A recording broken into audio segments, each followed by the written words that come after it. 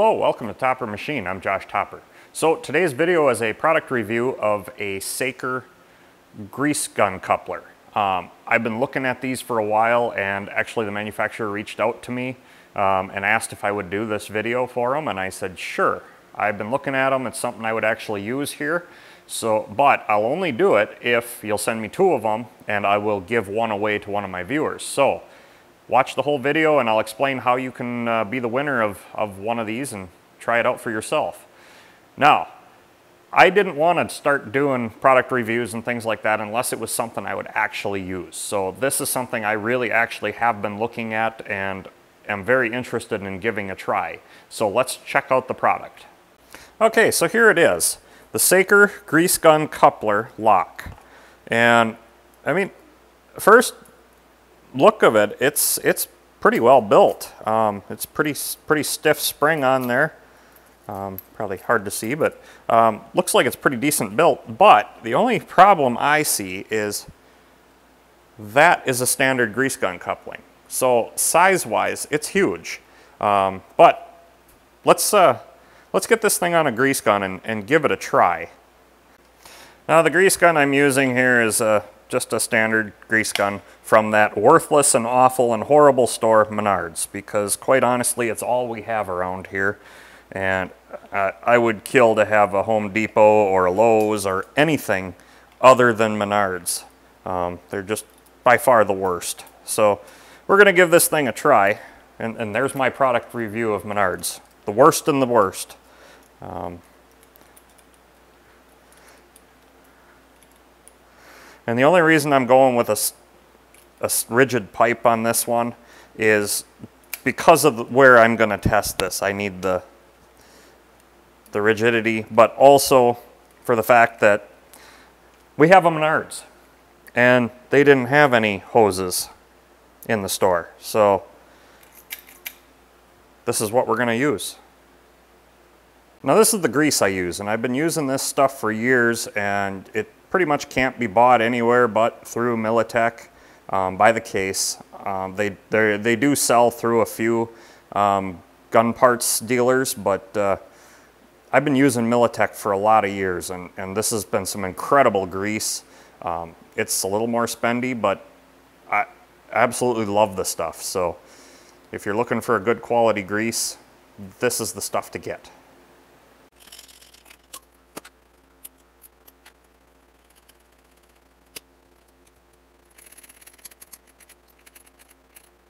Okay, so we're all set up here. Um, now, I bet you're all expecting me to grease stuff around the shop, but you know, I'm gonna go out and grease something more important. My high rail truck. So we're gonna start back here on the linkages on our rear high rail gear. And it looks like in order to get to them easily, I'm gonna have to drop the gear.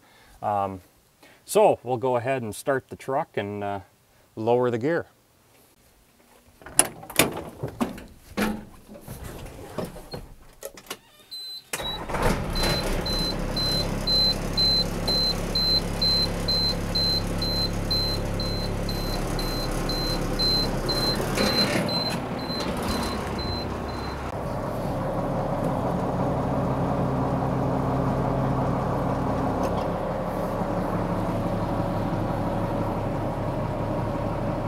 So we've got multiple Zerks under here.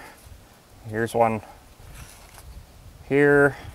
We got some inside a little divots here. Um, I'll have to get a little screwdriver, clean those out good. But the claims of this uh, grease coupling is that they don't leak. They lock on, they, they do the job well. So let's uh, put it on this one and see what happens.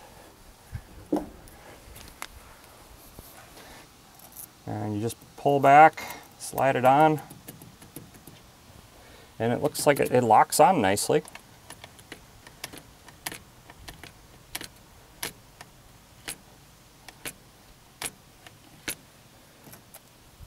And the only grease that was there was from me, you know, originally pumping the thing up. Now, I'll go get a little screwdriver, clean these out, and we'll give it a try in, in these recessed ones.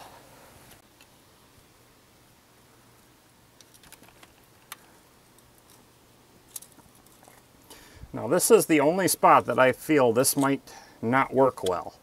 Uh, just kind of based on the size of it. But we'll get this cleaned out, we'll stick it on there and see what happens.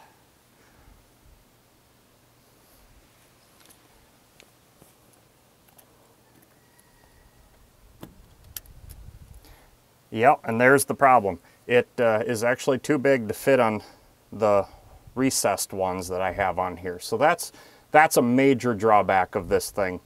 Um, so let's, uh, I'll use the other grease gun to get that one.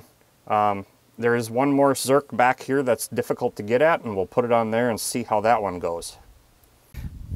Okay, so our other Zerk is down here and it's tight to the, it's a 90 degree one, it's tight to the or close to the body of the, the gear. But we might be able to get on that one. And I know a flexible hose on this might help a lot, but like I said, we have a Menards. That's what we have. So getting supplies is... And I did have a little leakage. I must have been at quite an angle there, but just because it's hard to get at, but it seemed it did push grease in, so that all looks good. Um, other than the one Zerk up here that it just could not get on it because it's in a recess, just because of the sheer size.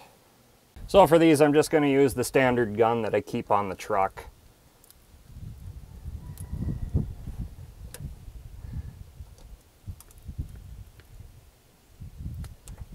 And this side is all greased up.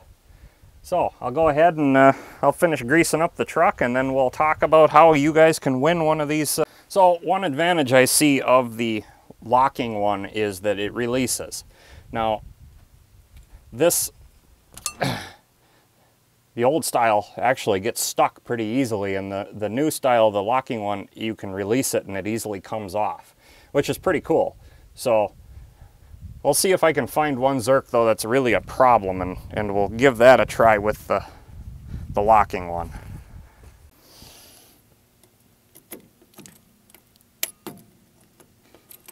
So this is a recess Zerk too, and as you can see, it doesn't lock on. Um, so that's a major, major problem with this thing, um, unfortunately. And, you know, it, this is not going to work for universal joints. There's just no way you can get in on a universal joint. Um, but everything else it looks like you can pretty much get at. So shouldn't be a problem. In fact, right here is a steering universal joint and I don't see any way of getting this thing on there. Um, it's just too big, too bulky. Um, so it, it, has its applications. Uh, there's a lot of great applications I can see, but on things like tight quarters and stuff, this, this is just not gonna work. So all in all, I see a lot of great applications for this and I, I do see its benefit, um, but not in a truck service setting. Um, I just, it, it's so many, so many places that it won't fit. Um, but maybe on more heavy equipment, that's it's possible, but there's a lot of recessed fittings on that stuff too. So it's it's hard telling. I, I'm gonna play with it some more, but I do feel that it's a worthwhile product to own. Um, and I'm glad I didn't have to buy it, but now on to the contest. So for the contest, this is my shop-built circular sawmill. I built this mill entirely here in the shop, and there are a lot of bearings on here, uh, a lot. Um, it's pillow blocks and, and uh, flange bearings, and just there's a lot of moving parts on this mill. Um, you know, between the carriage, the sawdust auger, the outfeed table, the carriage drive, the husk, um, there's a lot here. So the first subscriber that comments below in the comment section with the correct number of grease zerks that is on the sawmill will be the winner. Now, that does not include the, the uh, manure spreader that we use or the PTO shaft itself hooked to the tractor, just the mill. So the sawdust auger, the outfeed table, the track, the carriage, the husk, just in there alone. So you can go back and watch my other videos of the sawmill in action and maybe you can get a count that way or just make a, a, a good rough guess. But uh, the first person to get the guess correct, the correct number, will be the winner of the Saker grease gun coupler. So again, like I said, this I do feel it's a worthwhile product to own for some applications. I can see the, the release side of it and the locking side of it. Um, but the bulkiness of it is, is really a problem for a lot of the stuff I have here and a lot of stuff I do. So um, again, still worthwhile product to have and they're not horribly expensive. I just set up one grease gun for that and another grease gun with the regular fitting and you should be good to go. So there you have it, the Saker grease gun coupler locks. And don't forget, in order to win, comment below with the number of grease zerks on the shop built sawmill. And you can check out those videos and kind of get a count from the videos in the sawmill playlist. And but comment the number below. I will contact you probably in a comment. Um, I will reply to your comment if you're correct. And I will do a short video on Thursday just to announce who it is, who's the winner, and I will ship this to you, but you have to be a subscriber and you have to comment the correct number of grease zerks. So, with that, the crappy Menards grease gun, it did okay, and uh, but and all in all, I, I would definitely own one of these, but I definitely see disadvantages to its size and everything, and we didn't get to test it to its full full potential. Um, it's rated for 14,000 pounds. Um, this crappy Menards grease gun. I hate Menards if you haven't figured it out. Um, it's only good for 4,500 and we didn't have a Zerk that we could get on that I knew would be a problem because they were all in recesses. So in certain applications, they're great. This will be a great addition to the shop. And some applications, it's just not gonna work. Um, but all in all, I would still buy one myself. So until next time, and until we announce the winner, get out in your shop and get it done right the first time.